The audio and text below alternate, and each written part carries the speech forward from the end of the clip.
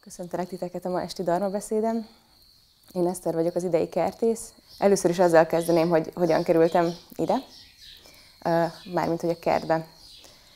Az előző bevezetőmnek ez lenne a folytatása, amikor is még a kutyás múltamról beszéltem, ami véget ért kettő évvel ezelőtt. Igazából úgy éreztem, hogy azt így, hogy mondjam, ott eljutottam oda, ahova szerettem volna, ami nem eredményekben jelentkezik, hanem abban, hogy bármilyen eredmény is tett egy verseny, egy fontos verseny vége, mindegyikkel úgy, ahogy volt, meg tudtam állapodni, és, és igazából ez volt a cél, hogy ne legyenek ilyen nagy kiingások, a kilengések a, a versenynyel kapcsolatban és a versenyeken, hanem egy ilyen stabil, nyugodt, de mégis jó teljesítményt tudjak hozni a kutyákkal együtt.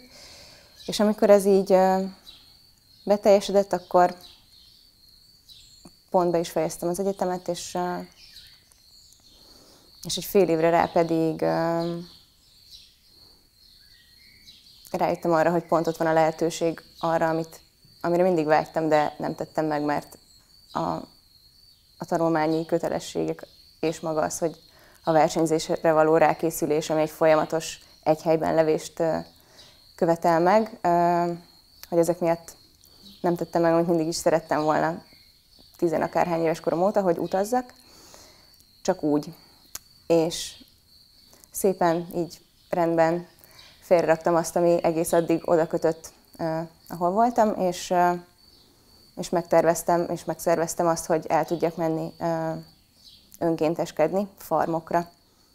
Tavaly márciusban gyakorlatilag innen a téli elvonulásnak az utolsó heteit azt itt töltöttem, és, és gyakorlatilag innen indultam el végül Spanyolországba, és ott hát egy ilyen négy-öt hónapot töltöttem, és kettő farmon önkénteskedtem. Az egyik helyen Oliva ligetben fákat metszettünk, a másik helyen pedig egy, egy önfenntartó kertben segítettem az ottani kertészt, és hát nagyon örülök, hogy ezt a, ezt a vágyamat így követtem, és, és életre szóló tapasztalatokat adott. Igazából, ami szerintem nagyon szép ebben a dologban, hogy az ember a természetben van, és a növényekkel, illetve fákkal foglalkozik, az maga a gyakorlat tud lenni. Mm mivel egy nyugodt környezetben van az ember, és, és ez lehetőséget ad arra, hogy teret kap, tehát hogy rálásson arra, ami éppen zajlik a munka közben. És, és ezt tapasztaltam mind a két helyen. Van, amikor szebb formában, tehát a munkafolyamatnak a, a gyönyöreit tudtam tapasztalni, hogy mennyire szép, amikor a fáknak, mint amikor levágják a körmét, megmetszük, hogy bő, bőségesebb termést adjon. De volt, amikor meg semmi kedvem nem volt kimenni, és, és azt csinálni, ami éppen a dolgom lenne, és akkor éppen azon a belső nehézségen kellett túl hogy ez most semmi kedvem, de mégis meg kell csinálni. És közben meg ez az egész kertészkedés amiatt gyönyörű szerintem, mert hogy a legalapvetőbb, a legeszenciálisabb dolgot termel, termeli meg a munka, ami az étel. És, és valahol mindig is kerestem azt, hogy mi ez a dolog, ami, ami igazából talán a leghasznosabb, amit csinálhatok. És a kutyázás is egy ponton ide futott ki, hogy így tök jó önismeret, de bármi lehet önismeret, de mégiscsak egy akadálypályán rohangászok a kutyáimmal, aminek egyébként túl sok értelme úgy önmagában nincsen. Viszont az, hogy zöldségeket, meg gyümölcsöket termel az, az ember, az, az egy szép dolog. Úgyhogy amikor ez a, ez a projekt így, így letelt, próbáltam keresni további projekteket, amiben így szívesen belefognék. Ami irányba sokat keresgéltem, az a, a szociális farmokba való becsatlakozás volt. Nagyon sok helyre írtam, Hollandiába, Olaszországba, olyan létező szociális farmokra, ahol gyakorlatilag azzal foglalkoznak, hogy a kertészkedés, mint egy ilyen terap, terápiás kiegészítő bármilyen terápiás csoportnak, tehát lehet ez hiperaktív gyerekek, lehetnek idősek, akiknek már nem feltétlenül van nagyon tennivalója, lehetnek fogyatékkal élők, bármilyen, vagy akár sima, vagy akár pszichiátriai problémákkal küzdő emberek is. És gyakorlatilag a, ha terápiára szorulnak, akkor amellett kimehetnek a kertbe, illetve az a dolog, hogy kimenjenek a kertbe, és akkor az ott szükséges munkát ellássák, és ez hozzájárul a gyógyulásukhoz. Gyakorlatilag a pszichológiának ez a számomra a legszimpatikusabb módja, de valahogy nem, nem jutottam be egyik helyre se, tehát hogy kevés választ kaptam, és az is nemleges volt. Úgyhogy ott voltam, hogy oké, okay, akkor most nincsen olyan terv, amit így, ami felé mehetnék. Közben volt egy, egy zentanítói hétvége amin kifejezésre került az, hogy szüksége van a templomnak oszlopokra, és később el, először ez, a, ez volt ez a hatás, amire úgy éreztem, hogy lehet, hogy akkor végül is most ráérek, és akkor eltöltenék itt némi időt. Akkor fordult meg először a fejembe, ez valamikor szeptemberben lehetett. Aztán így teltek, múltak a hónapok, és ez így szépen ülepedett bennem. Átjártam előről, hátulról, hogy akkor ez így jó lesz-e, nem lesz-e jó. Milyen ötlet ez az egész, de már régóta gondolkoztam ezen a, a létformán, úgyhogy de még érlelgettem egy kicsit, aztán pedig Szuni még küldtek egy e-mailt így a levelező listára, hogy keresnek egy kertészt, és azt pedig egy ilyen hívó szónak éreztem, úgyhogy már ezen gondolkodtam eleve egy jó pár hónapja. Úgyhogy utána jelentkeztem, és, és, és itt voltam, megbeszéltük, és ide költöztem. Úgyhogy így indult az idei kert, illetve hát ez még tavaly novemberben volt, amikor az egész elkezdődött. Azzal indult a dolog, hogy a tavalyi kertész, ő, ő még jelen volt akkor, és megtanította nekem a legfontosabb, legalapvetőbb dolgot, a, a talaj előkészítést, a komposztálást, és igazából ezzel kezdődik az egész földművelés,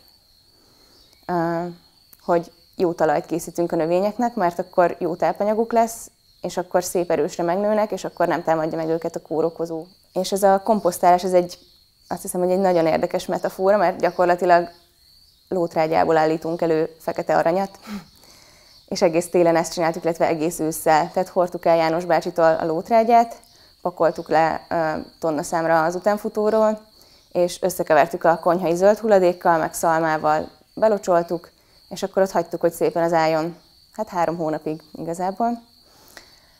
És, és itt a kiolcsa alatt ezt forgattuk, forgattuk folyamatosan, hogy mindig összekeveredjenek a, a komponensek, és, és a végén lebomlott a lótrágya, és ebből a lótrágyából lett a szép fekete föld, amit most kevergetünk bele itt a kinti földbe, hogy, hogy jobb tápanyagot nyújtson a, a zöldségeknek. Mm. És sokszor nevettem azon, amikor itt pakoltuk le a lótrágyát, hogy azért ez már elég jó, amikor a, a szarnak örül az ember, hogy milyen sok van belőle. és, és ez talán a gyakorlattal is így van, hogy, hogy itt, amikor ülünk a teremben, akkor nem gond az, sőt, hogyha följön valami olyan, ami, ami nem esik jól, vagy nem szép, hanem mondjuk egy olyan karma jön föl, ami, amit éppen nehezen tudunk elviselni, de elviseljük, mert azt mondtuk, hogy oké, okay, most itt ezt az 50 percet végigüljük. Hát, ahogy kimondtam ezt, hogy három hónapig érleljük a trágyát, hogy itt a Kjolcsain is három hónapig élergethetjük a saját kis trágyánkat, amiből, ha jól csináljuk, akkor jó kis tápanyag keletkezhet, egy jó alap, amiből meg szép zöldségek, szép életet adó ételek nőhetnek ki. Azt hiszem, hogy ez egy nagyon szép része a kert, kertben való munkálkodásnak, hogy, hogy rengeteg sok ilyen metafora van, tehát az életnek minden ciklusát így végig lehet követni, tehát már csak onnan, onnantól elkezdve, hogy, hogy télen ezt az alapozást szépen el lehet végezni, amit utána tavasszal kiszórunk, és abba elkezdjük ültetni a, a növénykéket mindent a megfelelő időben. És igazából szintén ezt még Dáviddal, az előző kertésszel készítettük el az idei kert tervet, és innentől kezdve szerintem nagyon egyszerű a, a kertészkedés, mert megvan az, hogy mi a cél, megvan rá a terv, megvannak a lépcsőfokok, és innentől kezdve csak meg kell csinálni. Tehát nem egy ilyen nagyon bonyolult dolog. Ami utána következik, az pedig az, hogy haladunk szépen a tervvel, és utána pedig figyelünk folyamatosan, hogy mi az, ami még pluszban hozzá kell. Tehát, hogy amikor megjelenik a krumplibogár, akkor összeszedjük őket, amikor észrevesszük, hogy dőlnek a palánták, akkor azt kezeljük. Tehát, hogy azon kívül, hogy megvan a terv, megvan az irány, megvan az, hogy mit szeretnénk csinálni, folyamatosan ott vagyunk és figyelünk arra, hogy mi, a, mi az, ami szükségszerű lépés. Ami egy nagyon nagy kincs a helyi kerttel kapcsolatban, az az, hogy sokan csináljuk, tehát ez a terv, ez, ez mindenki számára látható, és uh, itt mindenki bele tudja tenni a, a saját uh, személyiségét és a saját munkáját, ami számomra így a legkülönlegesebb, meg legújabb és a legérdekesebb dolog az egészben, hogy uh, itt nekünk kooperálnunk kell és kommunikálnunk kell, és uh, nagyon, nagyon-nagyon szuper segítségeket lehet látni. Tehát Dokesunim a saját munkamorájával, ami egyébként mindenben megnyilatkozik, de a kertben is ugyanezt a, tehát ezt a fáradhatatlan hozzáállását hozza, és mindig megcsinálja azt, ami szükséges, és amihez csak ő ért, és ez egy óriási nagy segítség. Akkor itt van Balázs, aki folyamatosan csak azért van itt, hogy, hogy ezt támogassa, mint egy búdiszatva. És mindenkit egyenként felsorolhatnék. Tomszi a rotamester.